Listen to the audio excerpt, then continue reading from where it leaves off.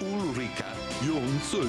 Hey, boom bang a bang, Waterloo, diggiloo diggiley. It's going to be quite a party. Why did they pick us?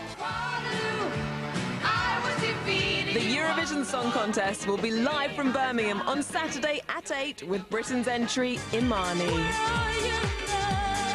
Soyez au rendezvous. Not a bad little restaurant.